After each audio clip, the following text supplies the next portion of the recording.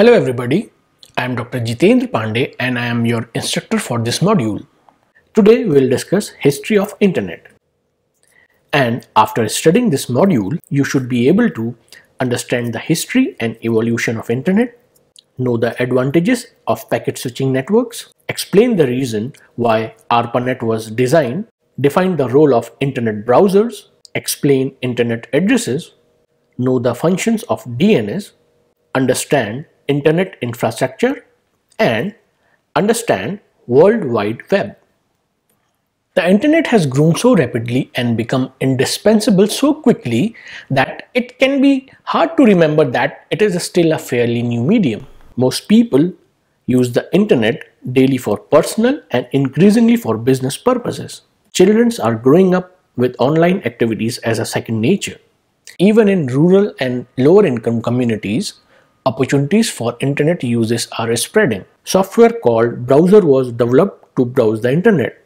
Individuals go to the internet for information, employment, education, entertainment, relationships, and support. It has facilitated our life in more than one way. Have you ever wondered from where the internet came?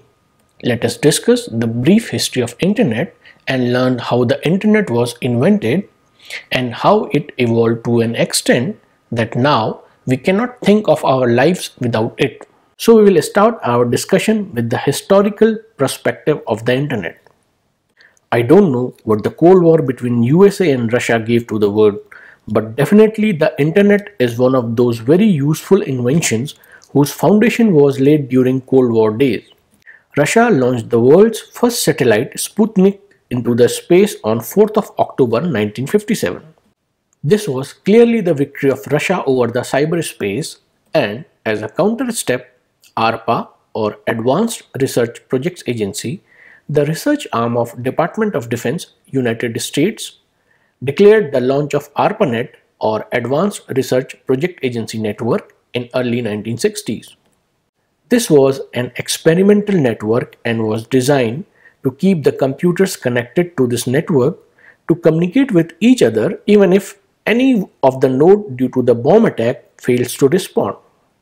The first message was sent over the ARPANET, a packet switching network by Leonard Kleinrock Laboratory at University of California, Los Angeles.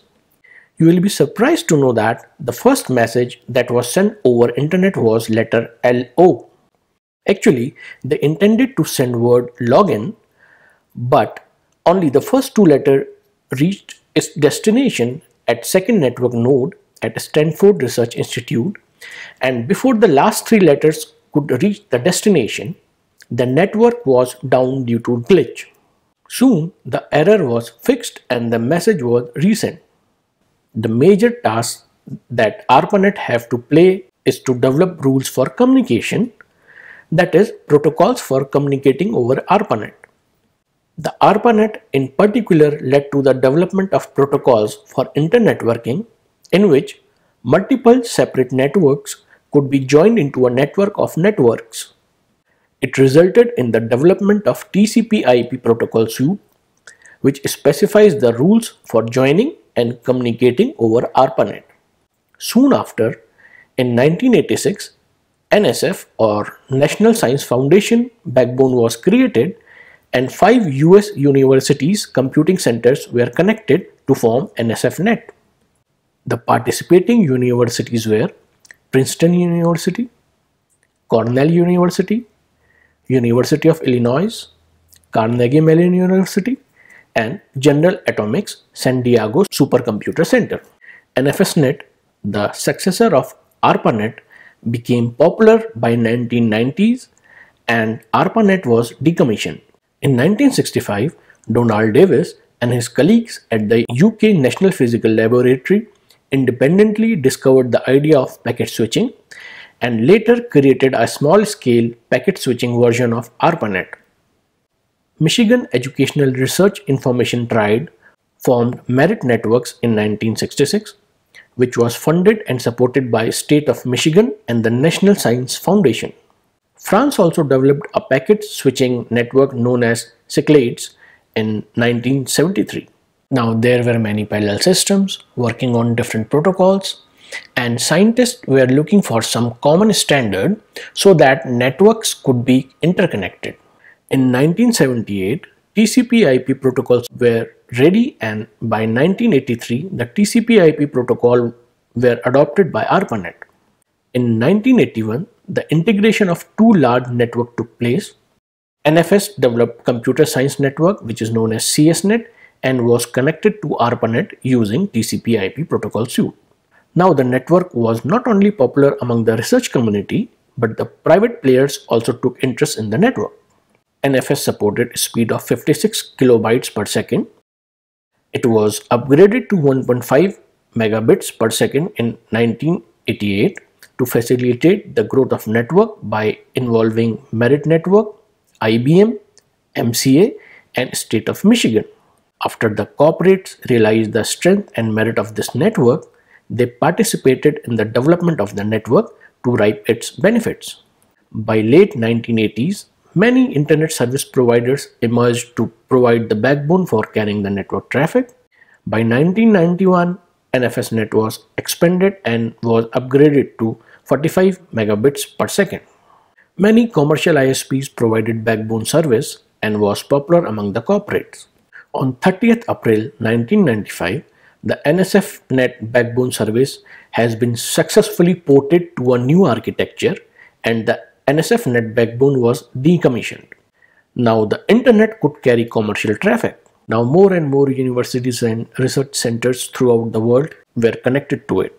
This network was very popular among the research community and in 1991 National Research and Education Network known as NREN was founded and the World Wide Web was released.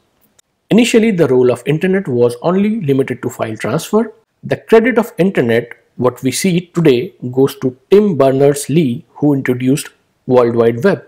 With the advent of WWW, there was a transformation on how the internet was used.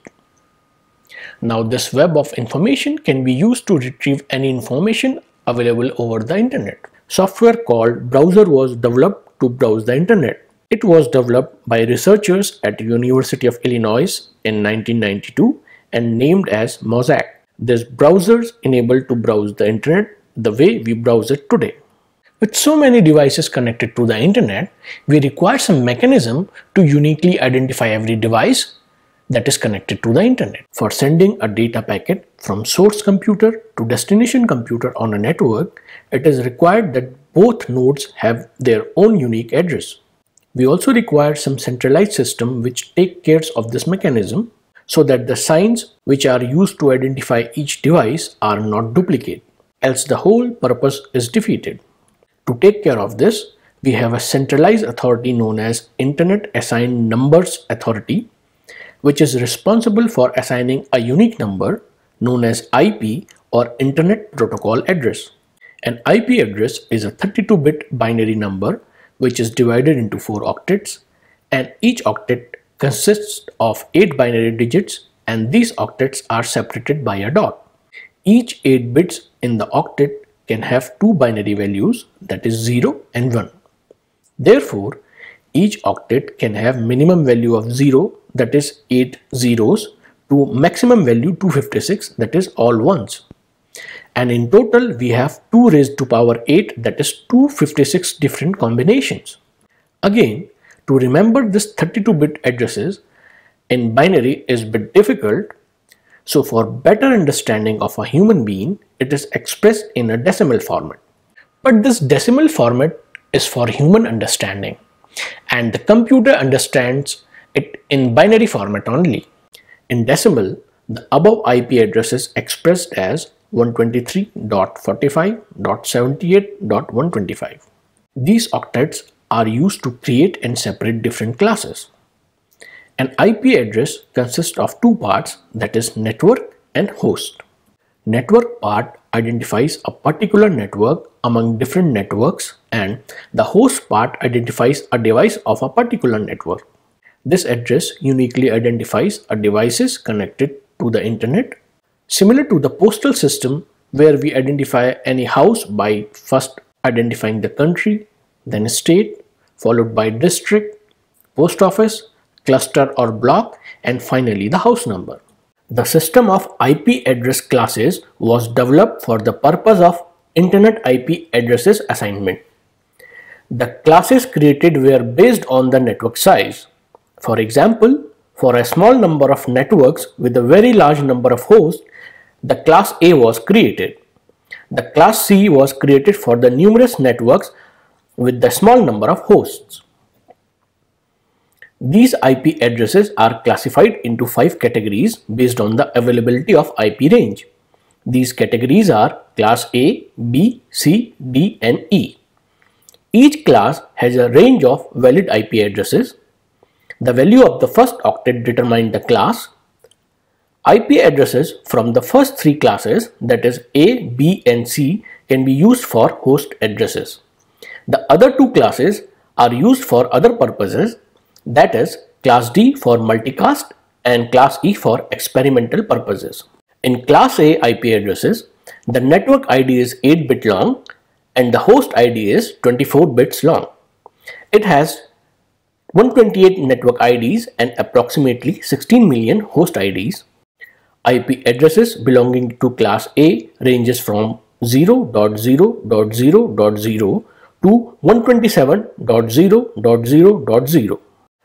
In class B IP addresses, the network ID is 16 bit long and the host ID is 16 bit long. It has 16,384 network addresses and 65,534 host addresses. IP addresses belonging to class B ranges from 128.0.0.0 to 191.255.0.0. In class C IP addresses, the network ID is 24 bits long and the host ID is 8 bits long.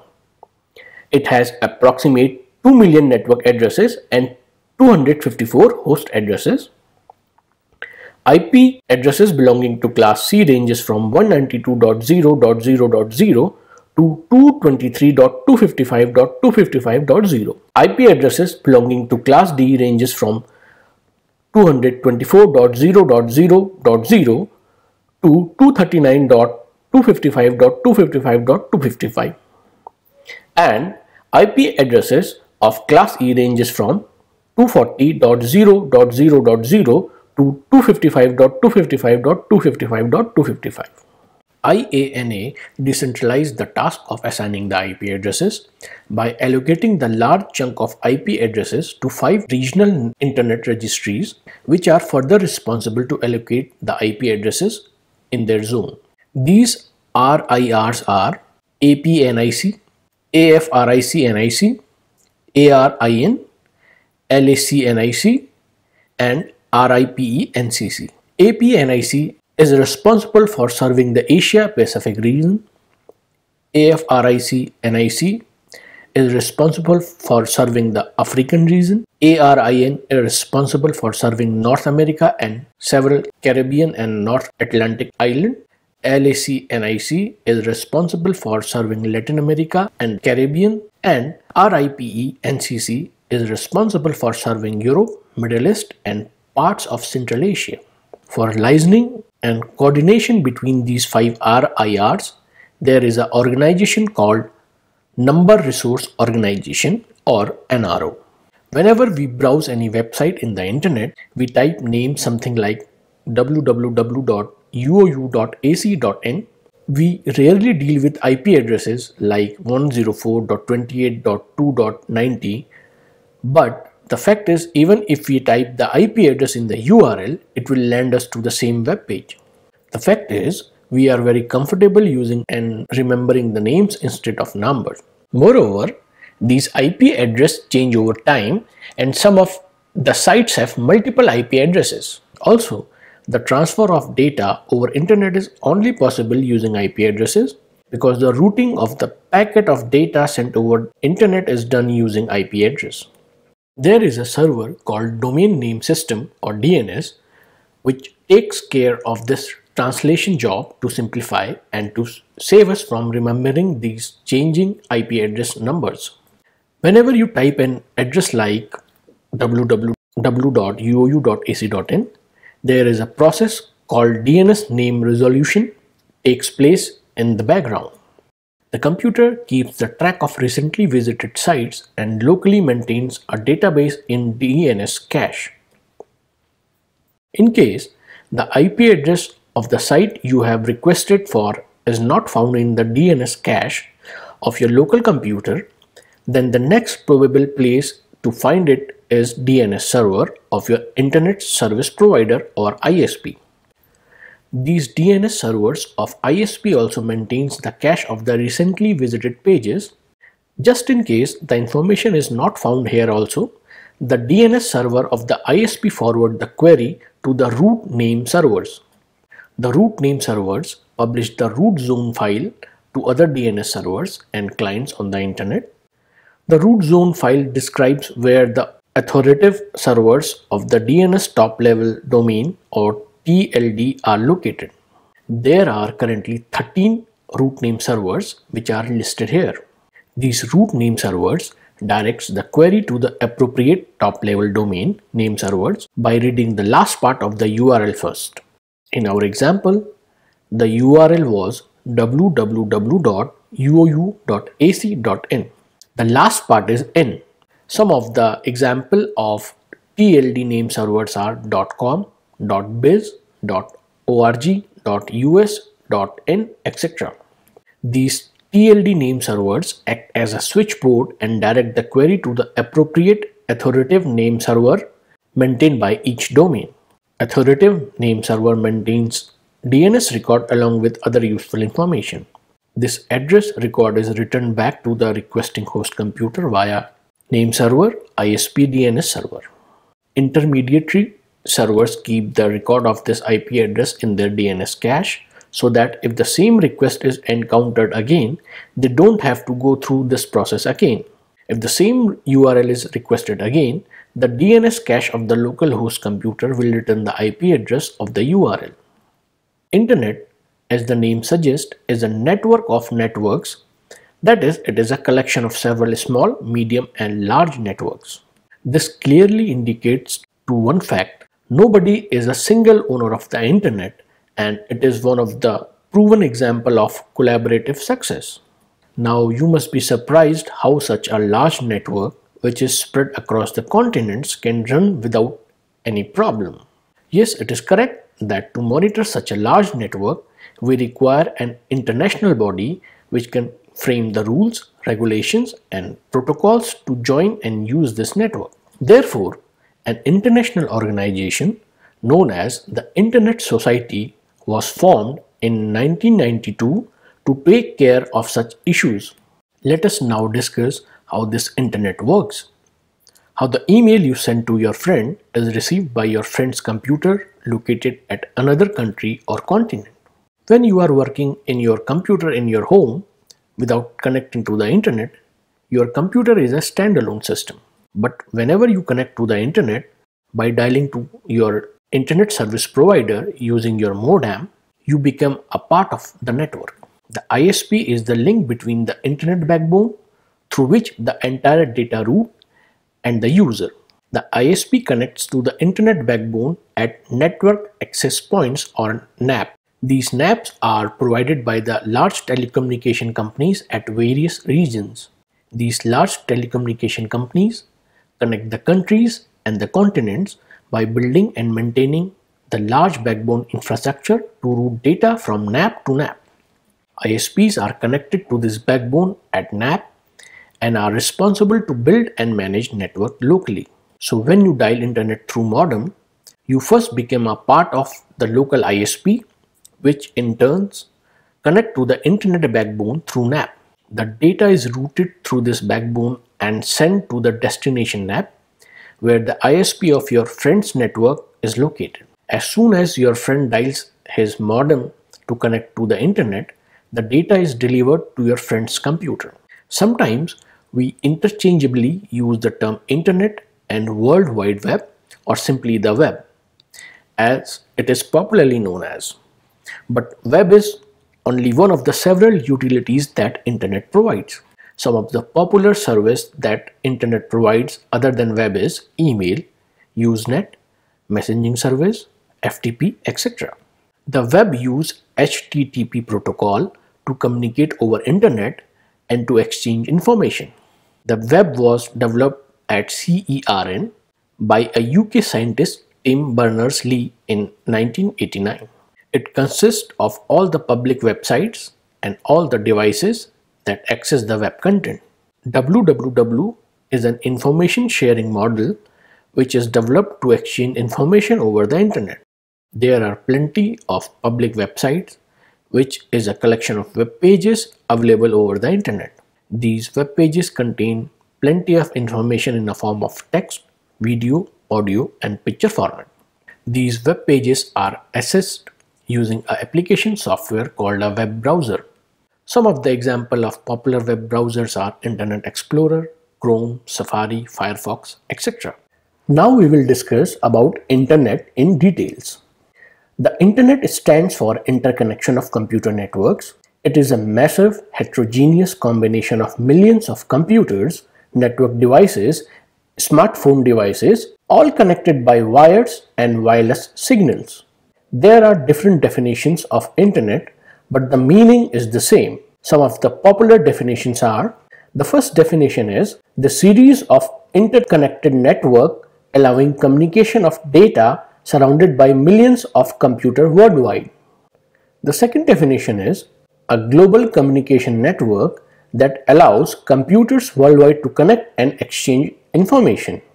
And the third definition is a worldwide system of computer network, a network of networks in which users at any one computer can get information from any other computer.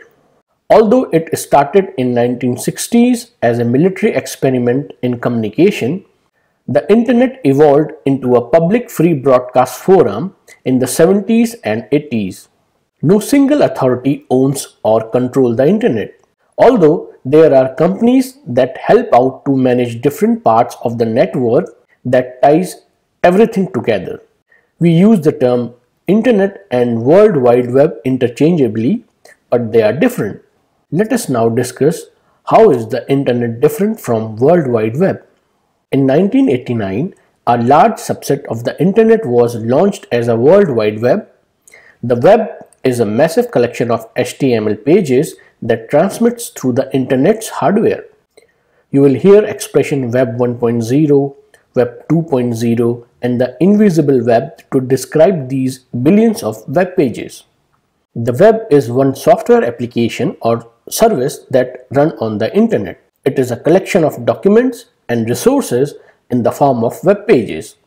It provides easy access to a huge range of information that is stored on computers around the world.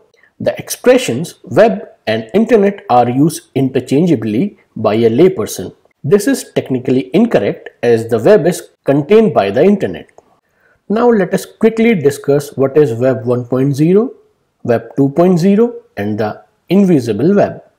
We will start with Web 1.0. When the World Wide Web was launched in 1989 by Tim Berners-Lee, it was comprised of just text and simple graphics as a collection of electronic brochures. The web was organized as a simple broadcast receive format.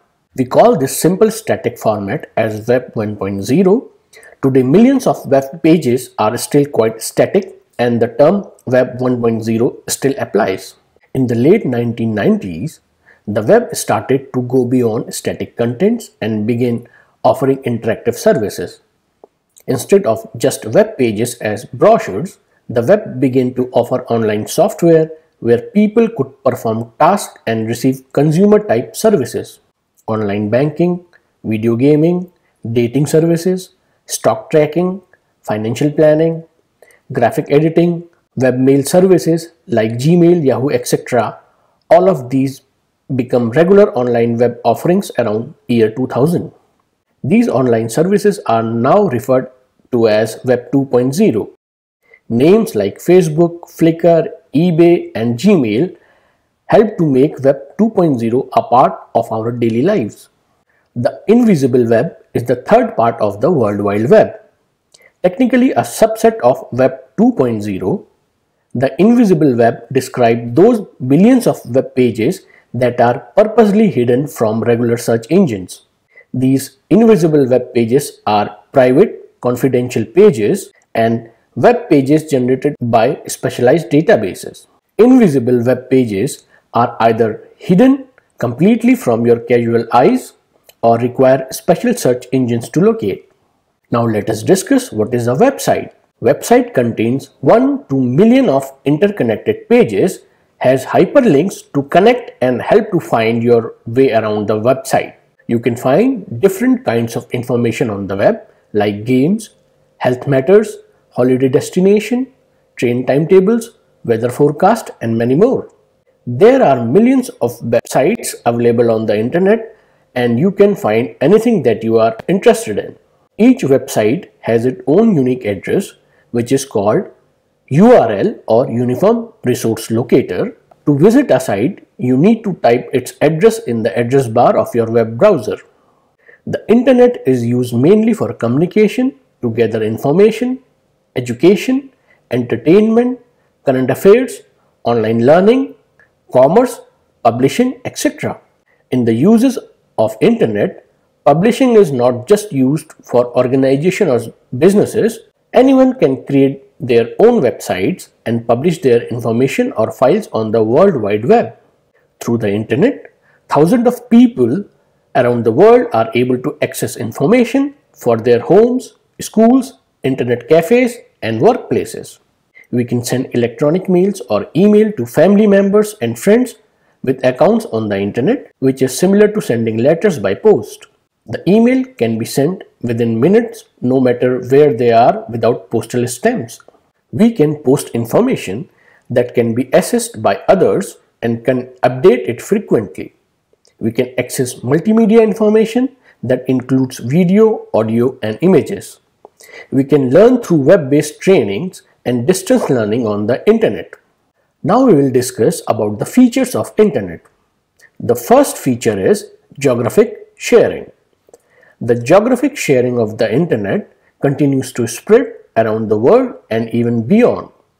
A main feature of the internet is that once you have connected to any part of it, you can communicate with all of it. The second feature is architecture. The architecture of internet is most ever communication network design. The failure of individual computers or networks will not affect its overall reliability. The information will not change or destroy over time or while transferring in between sites. And the third feature is universal access. It is easy to access and make the information like text, audio, video and also accessible to a worldwide people at a very low price. Now we'll discuss about the benefits of internet. There are many advantages of internet like the internet is loaded with data and information in a range of formats. The search engines that are available online are fast and powerful. The internet is easy to use. Students can become researchers due to easy access to data. Students are motivated to share their work online with the world. The internet appeals to different learning styles. Unlike paper, the web can present dynamic data sources which changes over time. The characters in an email don't get transposed or mixed up when they are sent over long distances. A student can access libraries around the world. In the current lecture, we have discussed about the history and evolution of internet. We have also discussed about the internet infrastructure and IP addresses. We have also discussed about internet and world wide web and in the next lecture we will discuss about cybersecurity. Thank you.